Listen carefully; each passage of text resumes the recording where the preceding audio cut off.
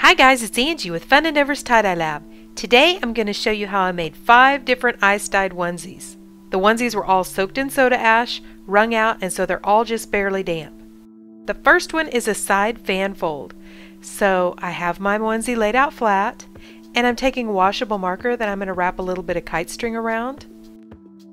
Find a point on my onesie where I want the middle of my fan fold to begin, and draw an arc on the onesie with the washable marker.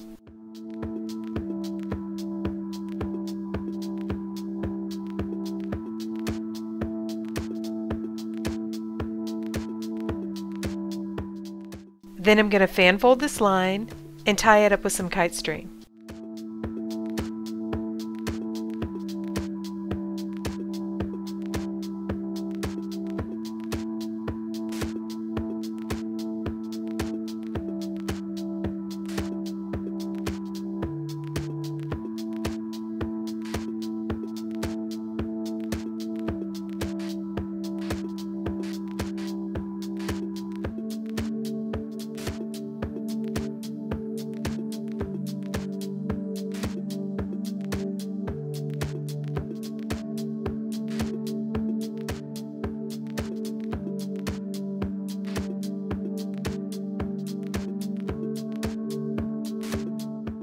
The rest of the onesie, I'm going to go ahead and fan fold it as well and tie it up with kite string too.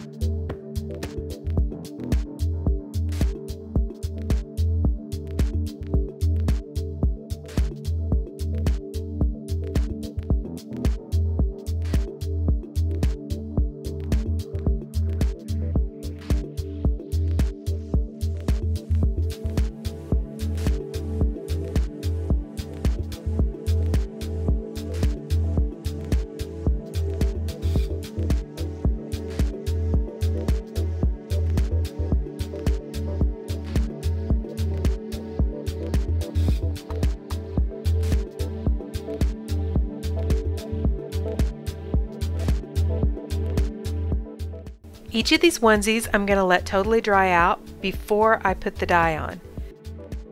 This onesie I'm going to ice dye in the muck. So I have my onesie down inside of a container and I'm just going to add on the very end of it some Viridian Blue from Grateful Dyes.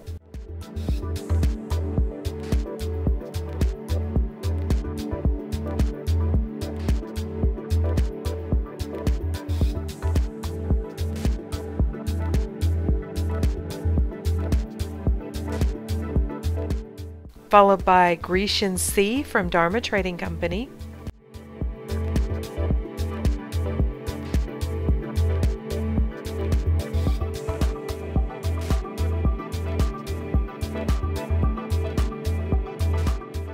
Tropical Dream from Dharma Trading Company.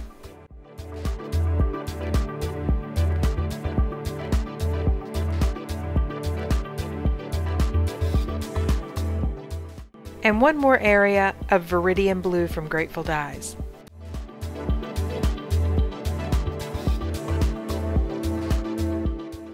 Then in between each of these colors, I'm going to add a line of Indigo Blue from Custom Colors.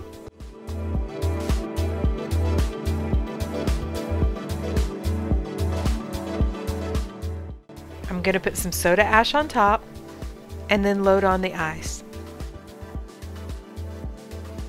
I'm using pieces of plastic cutting board that I've cut into strips and held together with binder clips to make myself a little barrier to put my ice down in. Then I'm using some dye bottles that I've just filled with water to kind of hold it all in place.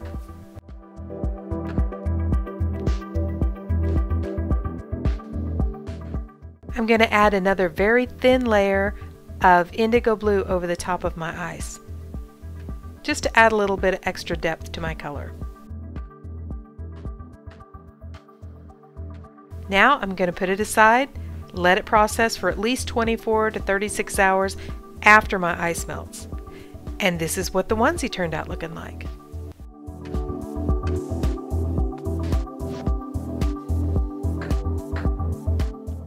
The next one I'm going to do is a spiral. Going to use a fork and choose a spot in the middle of my onesie and begin to spiral it with the fork.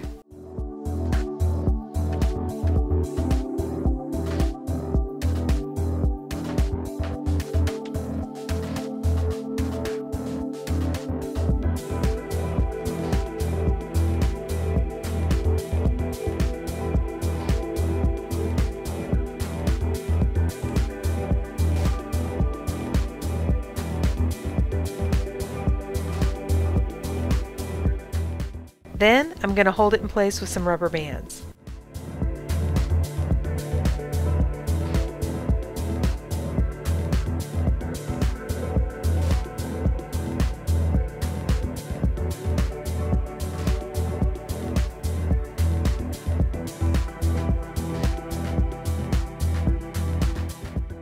Again, I put my onesie aside and I've let it dry out. This one I'm going to rack dye. So I have my onesie on a rack and I have a piece of silicone cake mold around it to make a barrier for my ice. I'll leave a link to these so that you can see what I'm talking about down in the description. The colors that I'm using are Fuchsia from Grateful Dyes, Lemon Yellow from Dharma Trading Company, and Vivid Turquoise from Custom Colors. I'm adding my colors in pie shapes and I'm overlapping them just a little bit to go ahead and make the full rainbow.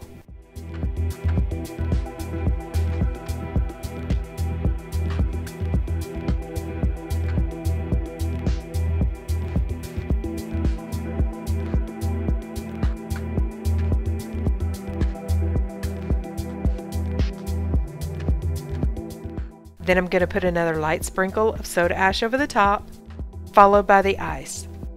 I came back after my layer of ice had melted and the color went all the way through the onesie, so I didn't add another layer of ice, I just went ahead and let it continue to process.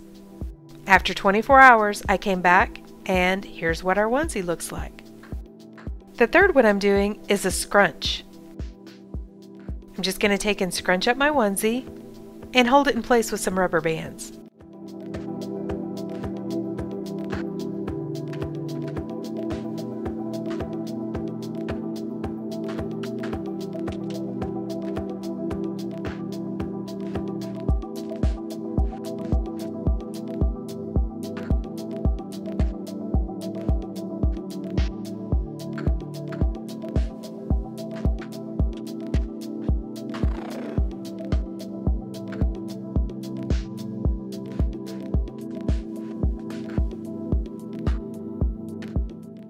My ice barrier for this one is something called a cake collar. I purchased this off of Amazon and it's what they put around cakes when they decorate them. I'll leave a link to that too down in my description. I'm going to rack dye this so I have a very small little rack down in the bottom of my tub and I've put the onesie on top of that, added ice to the top of my onesie,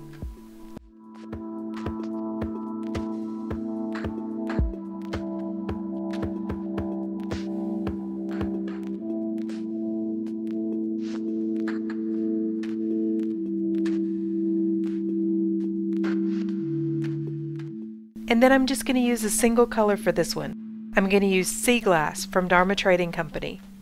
I'm just going to sprinkle the sea glass on the top and add some soda ash to the top of that.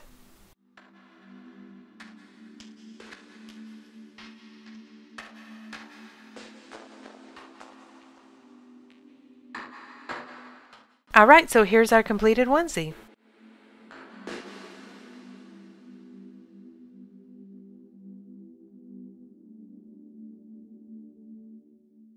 The fourth one that I'm going to do is another spiral. So again, I'm just going to lay my onesie out flat.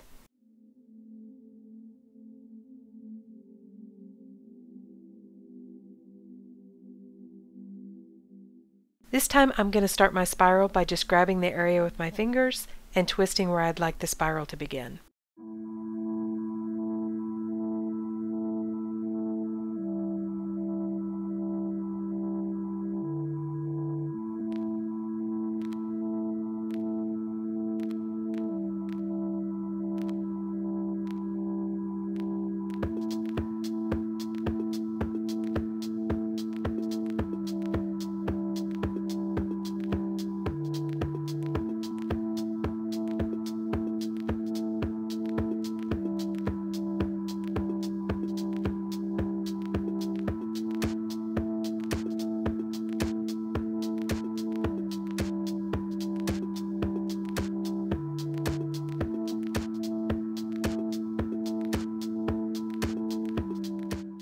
After I have it spiraled, I'm going to hold it in place with some rubber bands.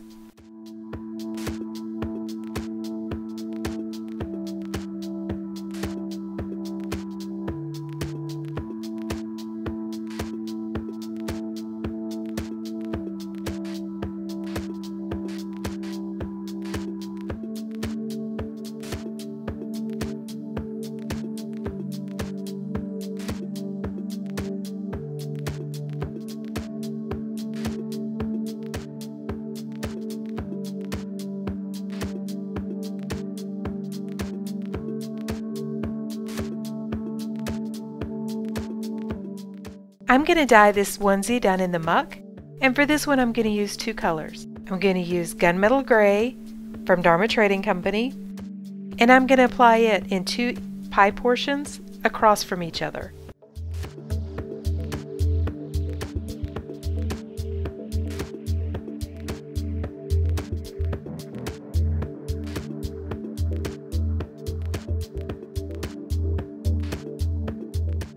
Then the second color is royal blue from Custom Colors. I'm going to apply that in the other two sections.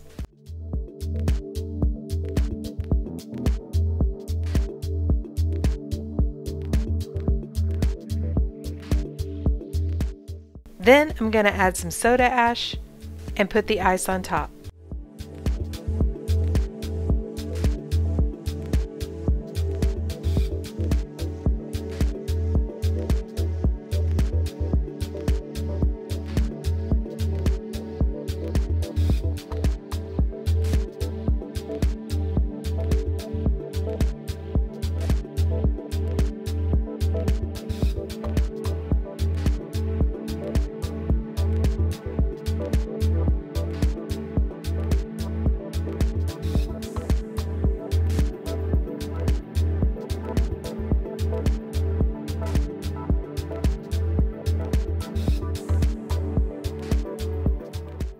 After allowing it to process for at least 24 hours after my ice melted, this is what our onesie looks like. Our final onesie is a double fan fold. So to begin, I'm taking my onesie and I'm going to fold one corner up to the shoulder of the onesie. So it's basically folded in half diagonally. Then I'm going to take a piece of kite string and wrap it around a washable marker. And I'm going to draw an arc on that one corner.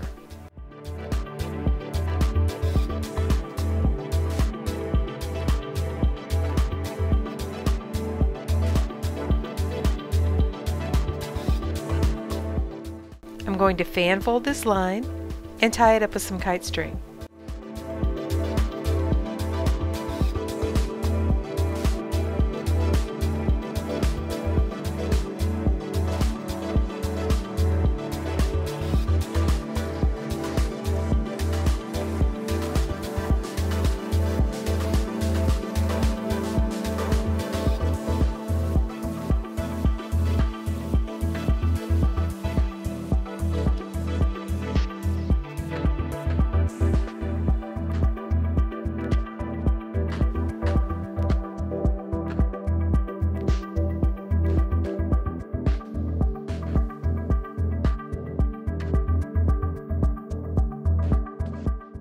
I'm going to fan fold the rest of the onesie and tie it up with some kite string too.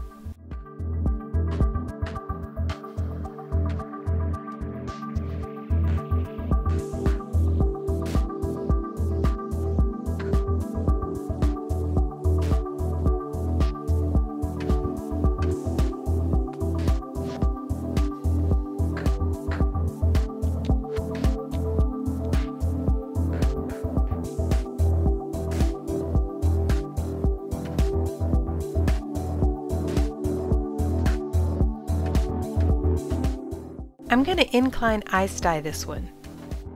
But since the onesie is so small, I'm going to go ahead and take the guttering that I usually use to incline dye with. I'm going to put the onesie down inside of it, down at the end, and then I'm going to use some more of the silicone cake molds to make myself a smaller barrier around the onesie. Then I'm going to apply lemon yellow from Grateful Dyes at the very top of my onesie, followed by Custom Colors Orange,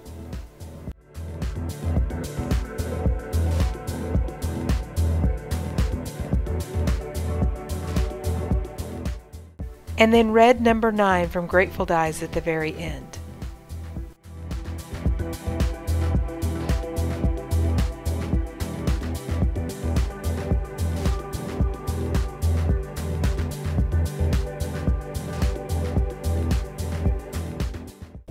Then I'm going to sprinkle it with soda ash, put the ice on, and let it process for at least 24 hours after my ice has melted.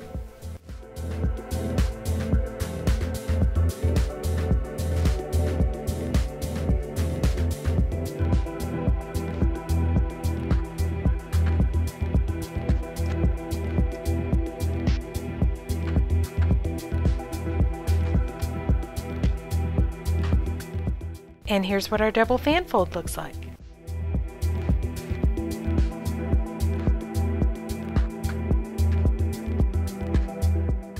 Alright, so here is one last look at all five of the onesies we made this time.